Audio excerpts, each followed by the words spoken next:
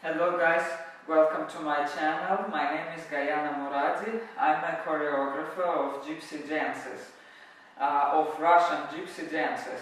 Also, I'm a professional tailor. I create clothes. For example, this is my work. You can buy it. Uh, it's, you know, this skirt is very light and is very unique because these parts are very different. And when you dance, if, if you dance with this, it will look like, you know, alive. Uh, this is also in, in this costume, so you can buy it. And uh, all details you can know if you write to my email or my telegram. Bye.